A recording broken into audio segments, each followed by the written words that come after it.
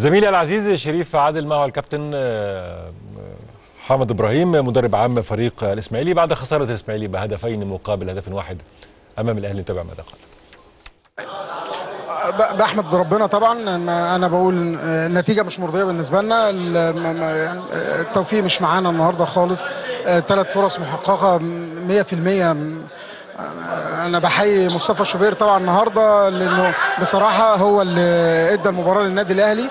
آه، لكن أنت ما فيش توفيق النهارده خالص. أنا بقول لعيبة بتحاول وبتعمل آه، يعني شغل بالنسبة لها مناسب جدا لظروف المباراة وظروف اللعيبة.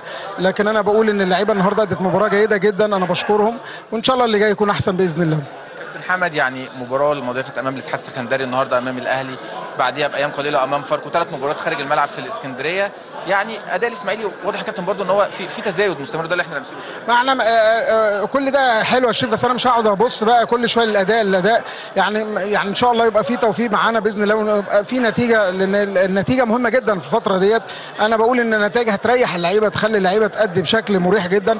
يعني أنا بقول المباراة اللي جاية صعبة جدا. إن شاء الله بإذن الله اللعيبة نقدر نشوف الشكل المناسب للعيبة اللي تقدر نشتغل بيها لأن إحنا محتاجين إن إحنا اللعيبة يعني أنا بقول ال- المكسب هيريحهم يخليهم يبدأوا يشتغلوا بشكل أحسن من كده لكن أنا بقول الفرص سهلة جدا. يعني أنا آه، الفرص النهارده سهلة جدا. أنا مش عارف يعني مش عارف أحلل الموقف بتاع الفرص نفسه لأن حاجات سهلة جدا جوه الست يارده وأنت بتقدر تشتغل. آه، آخر كرة فرصة نادر مصطفى شوبير آه، يعني عمل فيها مجهود آه، غير عادي.